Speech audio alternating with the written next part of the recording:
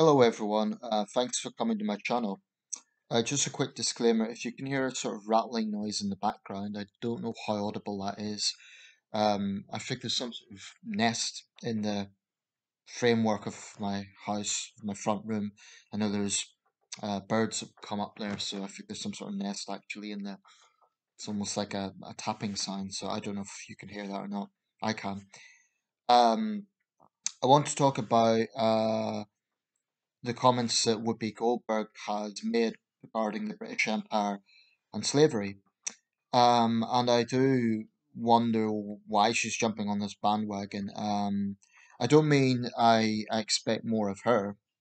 Um, you know, it's not so long since she made those Holocaust comments, so it seems like she's got a knack for controversy in recent months. Um, but uh, I I do want to say a few things around this because it's an issue that keeps coming up. I mean, this is about Whoopi Goldberg, this particular story, but you know, there's a lot of other people on the left or who have some um, anti-British narrative or sentiment, uh, and this issue keeps coming up and coming up. So I think it needs to be challenged. But first of all, I'll read out the report. It's from GB News. Notwithstanding what I previously said, um, it's quite concise. So just bear with me uh, and the reports by Max Parry.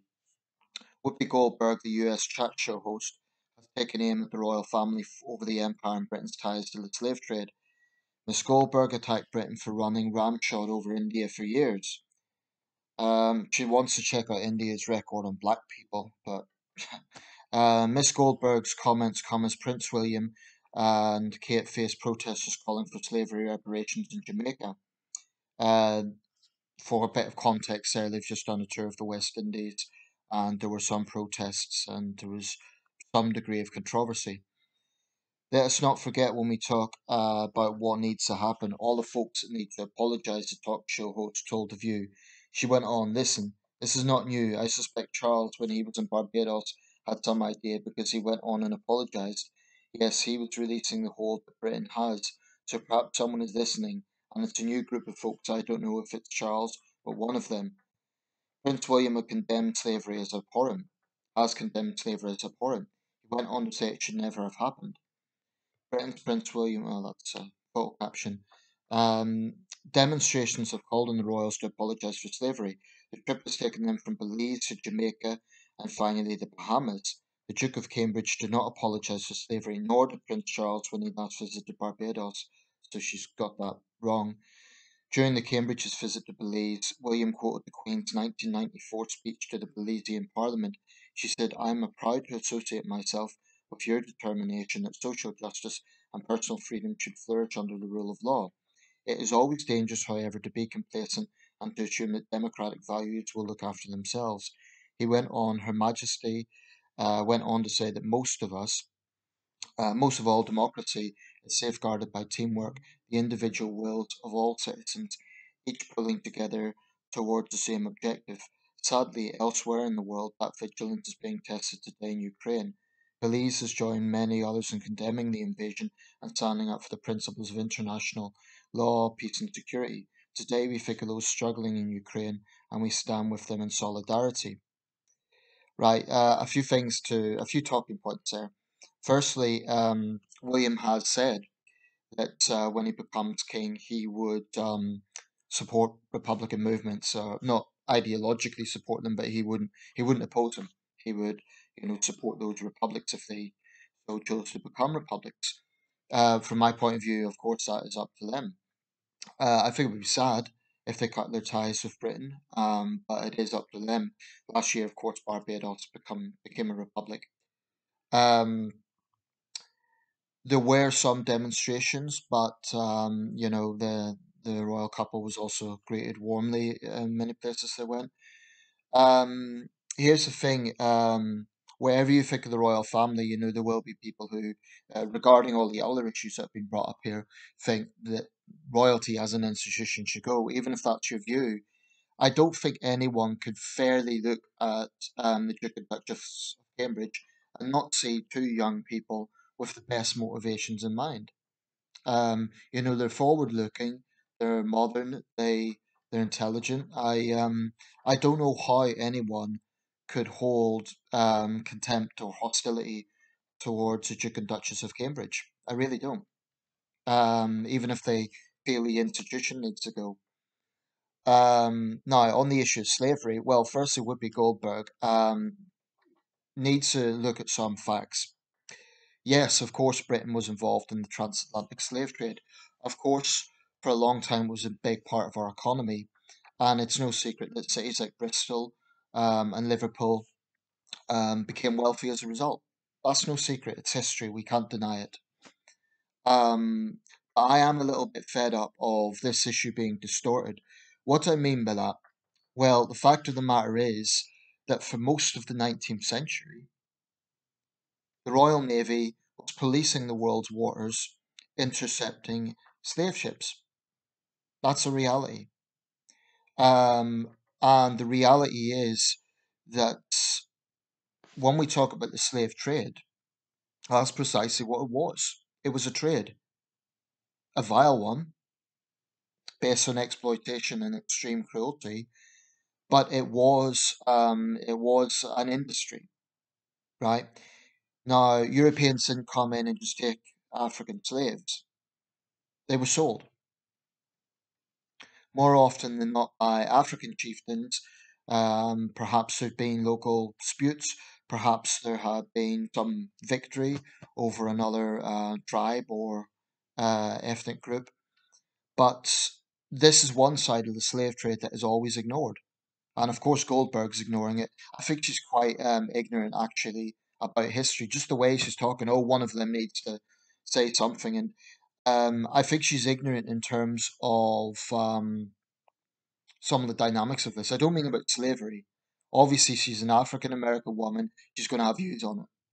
But I question why is she opening up wounds? Why is she regurgitating this anti-British narrative whilst ignoring the fact that for decades, long before the United States, incidentally, we were actively uh, policing the world's waters against slavery. Why is she ignoring the role that Africans played? In fact, not just her. Everyone who brings up the transatlantic slave trade in the context of reparations or um, trying to shame and vilify the United Kingdom always ignores this point. And quite honestly, uh, there's a lot of dishonesty about this because if a white academic was to say that, even though it's a matter of fact, they would almost certainly face calls to be cancelled. They would be smeared as a racist for simply stating the fact that Africans were complicit in the transatlantic slave trade. This is a reality. And frankly, um, I would say to black people who are outraged about the transatlantic slave trade, if you're outraged about it, be outraged about all of it. Be outraged that other Africans sold people into bondage, into you know the hands of white European traders. Um, so it frustrates me that that side is totally, utterly ignored. Um, another major issue is if the issue is about um, moral contempt about slavery, slavery happens today. Of the worst offenders, although it's officially illegal, it still goes on, is Mauritania and Libya, two African countries. The irony of that is is quite poignant. Um, the issue about reparations, my question would be, well, how far back do you go? I mean, if you have Jamaicans or Belizeans today who are descended from slaves, which is, is very likely, how many generations would that be? Now, we abolished slavery across the British Empire in 1832. Within the United Kingdom itself, it was 1807. Across the British Empire, 1832, I think the Act of Parliament was 1833. 1833. That's 190 years ago. So we're not talking here about the recent past. We're talking now almost two centuries.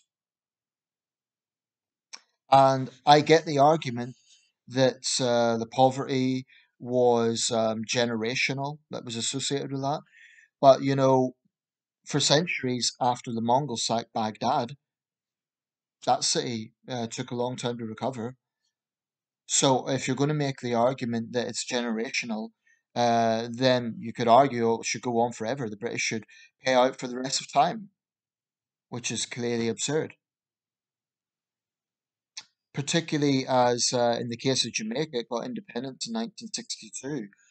I've always argued a big part of independence is a degree of self-reliance. Now, I know that not all countries are equal. I'm not saying that uh, a great power is on a level footing with a developing country that has just got independence.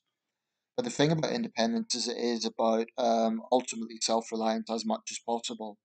And if you're arguing that a former colonial power should pay out for the rest of time, that's, I think, um, not realistic. Um, incidentally, uh, no other European power, as far as I know, pays out reparations for slavery. The Portuguese don't, the Spanish don't, the French don't, unless I'm mistaken. Um, but there's been empires throughout history. Slavery has been a reality throughout history. Yet, for some reason, the transatlantic slave trade is the only one that's focused on. There's slavery today. There's exploitation today. Even in Britain, I mean, there was those two cases recently of um, men with uh, with learning difficulties being exploited in the United Kingdom, including one up here in northeast England. And uh, I was outraged at the lenient sentences the individuals in question got. That is that's happening today. So these people that come out with their placards and they demand, um, well, in the case of countries like Jamaica, it's uh, I think it's a cultural thing because that's it's kind of, um, I think, part of the the soc- societal narrative. The British were our colonialists. They, you know, they owe us. But within the UK, when you get left-wing students like the Colston Four, where, where, if if they're so outraged about human rights and injustice, you know, they're protesting or they protested over a statue commemorating a a man closely associated with the slave trade, um, who died two centuries ago, more than two centuries ago, where's the same level of outrage about that today? It's this selective outrage I have a problem with. And if you're going to protest something as evil as slavery, and let's make no mistake, that's what it is, surely your priority should be slavery today. Surely that should be the priority. Um, because it still happens. Um, I personally think that there should be much tougher penalties for convicted uh, people traffickers and um, and well, uh, the two cases that I cited. You know, they the culprits in question got two or three years each. One of them apparently had a heart condition. You know, this is sort of leniency totally sends out the wrong message. In one case, a man had been held for something like 27 years or longer. Um, I forget the precise time, but it was a very, very long time. He was living in cramped, horrible conditions. He was paid a pittance. Um, it was basically slavery. Um, you know, so if if you're infuriated about what happened in 1780, but you're oblivious or you don't really care about what's happening today, I would question your moral compass. As for a wealthy American like Whoopi Goldberg, I mean, you know, she's done well. She's an African American. Uh, she's been successful. She's rich and she's famous. Um, I'm not saying that she's calling for reparations for herself, but she is pushing this narrative. And I question that. I would say to Whoopi Goldberg, if you feel so strongly about the subject, will you call on the descendants of African chieftains to also apologize? I don't think the current generation should apologize for things they have not done. I don't believe that. I think that the current approach that we take is the right one. We should acknowledge it was evil. We should acknowledge that we profited from it. The empire was partly built on it. We should acknowledge that. We should be honest about the dark side of our past. A confident nation is honest about its dark side, right? Um, in terms of reparations, I I think within living memory there is a case for it, right? So take for example civilians and the caveat um, being civilians who were tortured by British forces in Kenya during the Mau Mau uprising. Probably we should pay out. Okay. Um, yes, it was an insurgency. Yes, the Mau Mau were killing uh, white settlers and Kenyans. Um, but we did torture civilians. There's no question about it. Um, and you know those survivors now they're old, they're in their eighties and nineties. So I think really we could pay out because that is that's something that is within living memory. It's only the nineteen fifties, so it's within living memory. Uh, there's also some things that we could do. For example, the Benin bronzes, um, which were looted. They were looted from the Benin expedition of 1897. Um, we should probably return those. I mean, there isn't really any reason not to. Um, I've heard the argument that uh, it's better to have them in a secure place like the British Museum rather than a, a part of the world that might be unstable. But ultimately, you know, they have the moral high ground. It's theirs. That's that's the bottom line. So I think, uh, and and the Elgin marbles as well. I think we probably should just return those things as a goodwill gesture. It's you know, it's a festering issue that breeds anti-British sentiment. Uh, I think we should return it. Probably uh, there should be some caveat like uh, this is part of culture. Uh, will it be protected? Um, you know, and have an arrangement whereby um, maybe we could use part of the foreign aid budget to make sure that that's in a good facility, like a good museum or something. But um, I just mention that because we know that there are parts of the world that are unstable. Uh, for example, ISIS, when they took over in Iraq and Syria, damaged historic artifacts.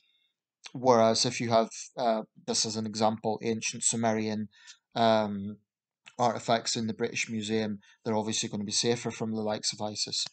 Uh, that's that's really the only argument I would say there is for keeping that stuff in um, in a Western museum. So yeah, I think there's some things we could do. I think we could pay reparations within for cases within living memory. Uh, we can and we do acknowledge these things are wrong. But should we bow our head in shame and pay out millions with no end in sight? No, I don't think we should. Um, I think when it comes to the British Empire being taught in schools, and this is probably for another video, but I think it should be a balanced approach. Yes, let's look at the negative things. Look at the transatlantic slave trade. Look at Amritsar. Look at those bad things. But also look at the fact that the British Empire built the modern world. Westminster system of government, uh, infrastructure, rule of law, all these things that positively change the modern world. Um, balance, that's all. I think there are left wing activists who basically want to brainwash children into hating their own country and feeling that uh, evil British went in and just killed everyone and that was it. It's not reality, and it's um, it's a distortion of reality. Um, as for Whoopi Goldberg, unfortunately, you know something like The View, it's going to be an echo chamber. I'm sure I didn't watch it. I couldn't be bothered, quite honestly. Um, but it's going to be an echo chamber. Of course, she would have a she would have had a rapturous round of applause, and you know it's all wonderful. Um, you know, she speaks the truth, but she needs to address those questions. If she is talking about reparations, does she extend that to the descendants of African slave traders? After all, without their complicity, it would have been a lot harder. I suppose you could argue Westerners, the British, the Portuguese, and so on, could have just went in and killed everyone and took the slaves. Um, yeah, they could have done that, but obviously it made it easier when there was local complicity. That's just common sense, and it's a side that is always ignored. Final point when I talk about um, slavery in history that's ignored, the Barbary slave trade. How often do we hear about that? What about the descendants of white Europeans? Should they claim reparations from the descendants of North African Barbary pirates who literally kidnapped Europeans at the end of the 17th century, going right up to the early 19th century, I believe, um, kept them in slavery, and you know governments had to pay out ransoms until eventually it led to a conflict known as the Barbary Wars. I have a big uh, print of a painting in my bathroom, which is it's called the Bombardment of Algiers, 1803, and it's from the Barbary Wars, um, which is basically European powers had enough of this blackmailing. Um, it was kind of hostage diplomacy, actually, and they took action. Um, but that's a slave trade that is totally, totally ignored. And I will say there are some um, powerful black people who push this narrative that the only slavery in history was the transatlantic slave trade. It's a lie. There's the Arab slave trade. There's the Barbary slave trade. There's the slavery throughout the Roman Empire. Um, slavery, unfortunately, has been a fact of history, and it's been found probably in every part of the world. Um, some Native American groups were engaged in slavery. So why is it there is this sole focus on the transatlantic slave trade?